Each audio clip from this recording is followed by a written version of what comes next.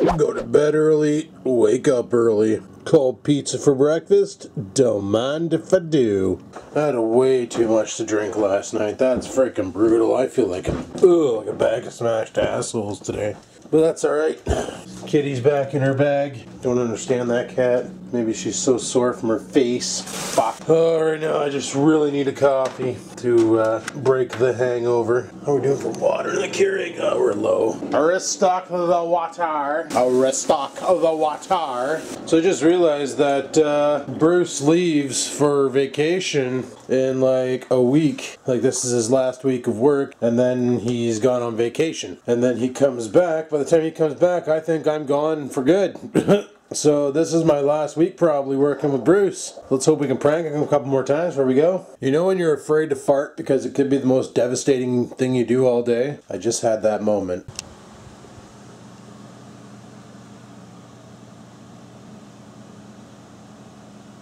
He's so cute when he sleeps.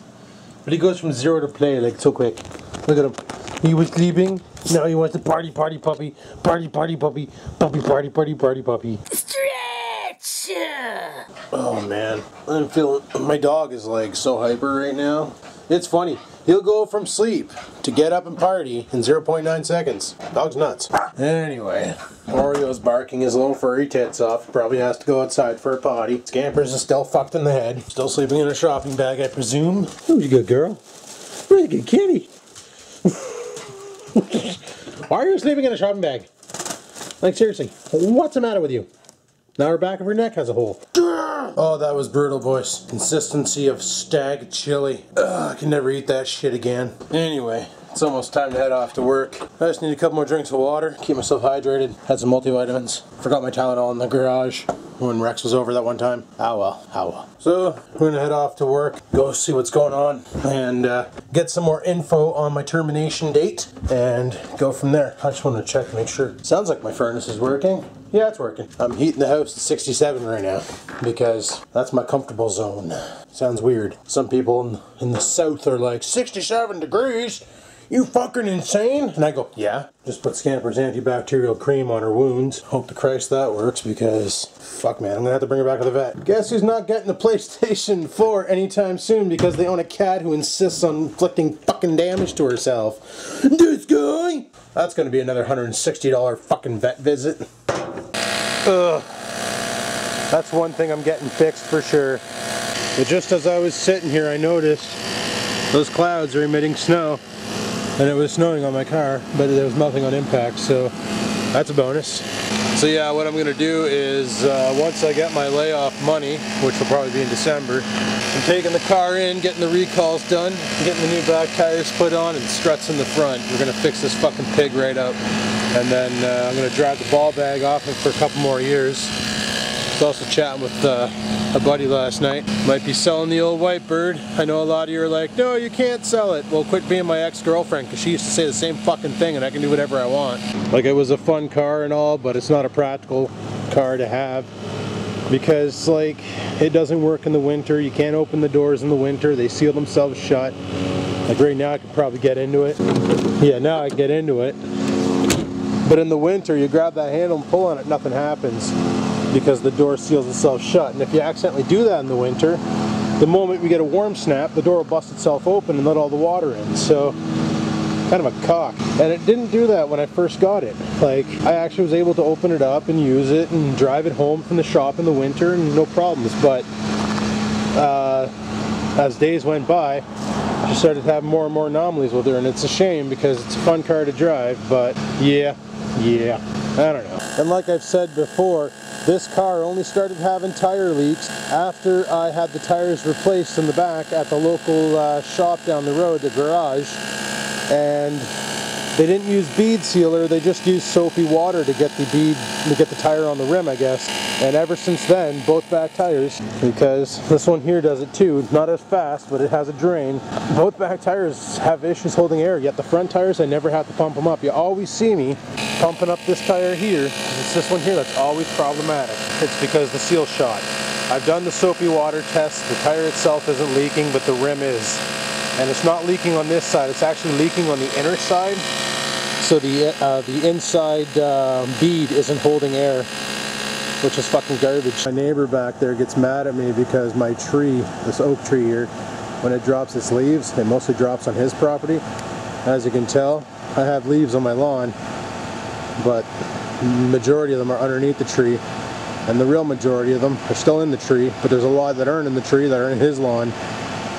Think he wants me to take that tree down. I don't think I'm gonna. I like that tree. That's a freaking awesome tree. Look at it. It's freaking awesome. Just look at it. Freaking awesome tree. Anyway, this thing's done, so let's shut her down, get in the car, and get off to work. Oh, I'm anxious for, for winter in a way, but not in a way, you know? I'm anxious for it because once winter hits, actually once right after Halloween, no more parking on the side of the road like all these people are doing.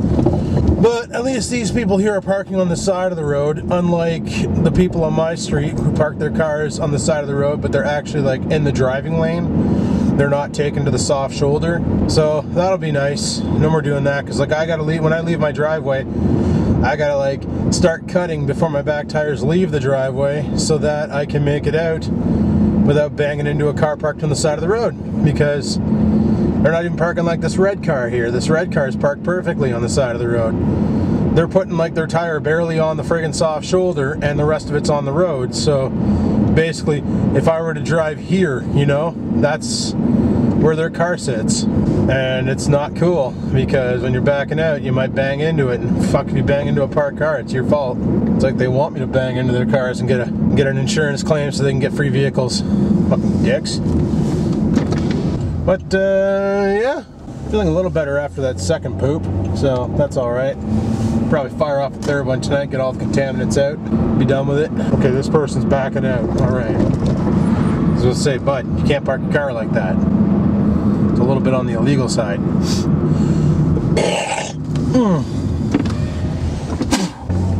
Yeah, I learned my lesson last night. No more mixing alcohol, no more beer with vodka. That's not a good time. You wake up the next day feeling fucking wrecked, and uh, it's not a good feeling. Like, I feel pretty devastated. I woke up at 10:30 this morning with a beer shit. Like I shit you not. Well, I shit you because I did shit.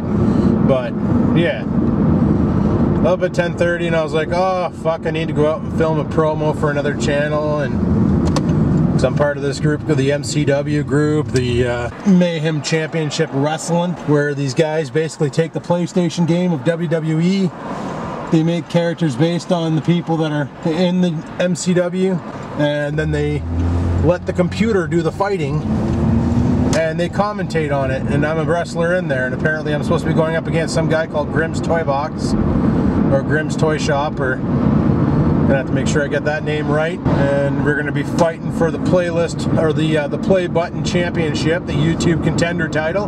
And I gotta make a fucking promo where I'm just smack talking like a son of a bitch. So that's gonna be fun. I gotta upload that to my channel as unpublished and then they're gonna grab it and fire it up on their channel and maybe edit it a bit or do adding non-copyright music to it so that they don't get monetization blocked or whatever. I'm not going to put any music on it, but it's going to be, uh, whoa, that was squeaky. It's going to be pretty, uh, pretty interesting, pretty interesting. And I get the smack talk, so that's all right. I'm not really good at smack talking, but we'll figure something out. Maybe I'll watch a couple wrestling promos and steal shit from that. Go from there. I gotta do that. I wanted to do that today, but I was like, holy fuck, like I can't even get too far away from the toilet right now keep puking out my bum. At least it wasn't out my mouth. Yeah, I'll have to call the vet on Monday and see if I can bring scampers in and if not, get a friggin' appointment booked. Holy shit. Brakes are still good. Yeah, that van's not gonna let me back up. I got a van behind me. He's fucking like right behind me too. I have no way to back up. What a fucking arsehole. Oh well. If a cop sees me, I'll be like, dude, at least I stopped. I would back up, but buddy in the pedo van behind me fucking won't let me. It's a Chevy, a Chevy Astro van, you know those big fucking things. Nice burnout. That happens a lot with cars nowadays. I swear they have a locked diff in the rear end. Any car that's rear wheel drive, the back end just chirps when they come around that corner. I feel like my nose is out in the traffic. Like we're gonna get hit. You guys probably really feel that. Like watch when this transport goes by how close it feels. Like it feels like, oh shit, that's like right in front of us. Eh? It's not. Objects on screen are further than they appear. All right, let's go.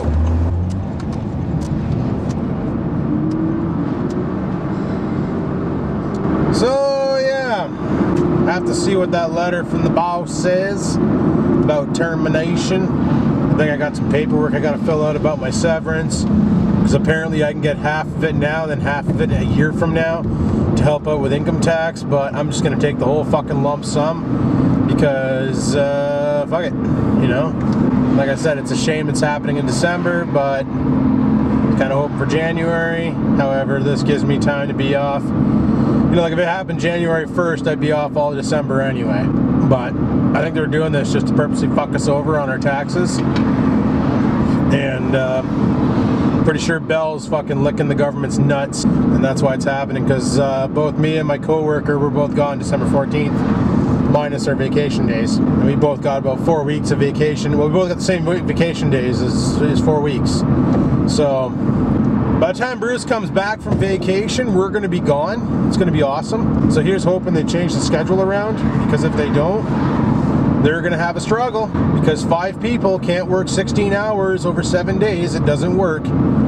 We've tried it. There's like one guy working night shifts, two guys working day shifts, and one of the guys who works day shifts doesn't do a fucking thing. Like honestly, it would be Bruce. Oh, well, there'd be five people left. So Bruce and the other four. So the only way they could do it is if like two people work Monday to Friday, but then they need two people working on the week. They need four people working on the weekend to cover both days and nights. Like it's it's unfeasible with the amount of staff they have left. So if they don't change the schedule and the hours of operations, especially because we got people going on vacation for Christmas, and neither one of those people is me or my coworker who's getting out of there like it's gonna be a fucking train wreck for those guys, and I'm laughing my tits off thinking about it. Like if they don't get on the schedule and make it a Monday to Friday operation, they're fucked. They are physically and financially uh, fucked because nobody's gonna be able to work. Holy shit, this is a pretty busy, pretty busy street for a Saturday afternoon. Where's everybody going? Can I go too? Instead of going to work, can I go where you guys are going? Buddy? No? Buddy? No? Buddy, can I come too? No? Okay. Holy shit. Thought she was gonna die at the wheel, folks. Alright, I get my turn. Alrighty, we made it to work and the trees are all naked. Look at all the nakedness in the trees. They're showing their bare skin. www.treeporn.com. Look at naked trees now. And I'll fucking park like an asshole. Taking up two spots because I don't want anybody to park beside my car and scratch my paint that's rusting off. Because I couldn't do body work because it was fucking raining. Anyway, people, I'm going to end the vlog here. There's uh, going to be some editing to be done. I haven't even touched yesterday's video. So we're going to edit that one and this one here, get them ready for deploy. And then uh, I might film again at 5, I don't know. We'll see. We'll see. We'll see what I do. Just do her. Anyway, I'm shutting her down, so thanks for watching. I'm hungover as fuck, and it's going to be a while till I'm back to normal, probably tomorrow. So I shouldn't get into the beers tonight, but I probably will because I'm stupid. But anyway, thanks for watching. A like, favorite, and comment. And until next time, people, keep on blogging.